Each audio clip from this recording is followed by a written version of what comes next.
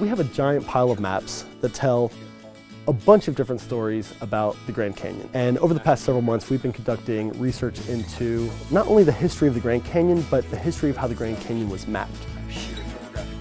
We have pictorial illustrated maps that show kind of cartoonish caricatures of the Grand Canyon. We have geologic maps, topographic maps, historical exploratory maps. You can get lost in looking at patterns and shapes. They're just captivating. And then when you really start to appreciate what goes into making maps, there's an entire scientific, intellectual lineage of admirable explorers who risk their lives just to collect raw data about where things are. No one knows the Grand Canyon, and that's, that's a, it's a bold argument to make, especially if you're trying to make that to explorers and rafters and hikers, but it's true. Uh, even the most seasoned canyon adventurers have seen only a fraction of the Grand Canyon. That's just because it's so vast. You can spend a lifetime hiking through it or rafting through it.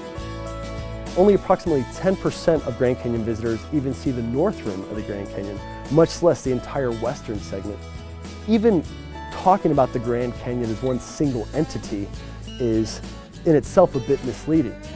All of these maps are really just layers of data packaged onto paper. And of course, paper is not the only medium on which a map could be produced.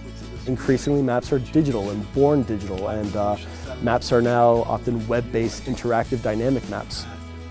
Maps allow us to, to simplify and make space cohesive and, and, unify space. But that map will be far more effective in communicating information about that space if people want to look at it, if it's appealing aesthetically.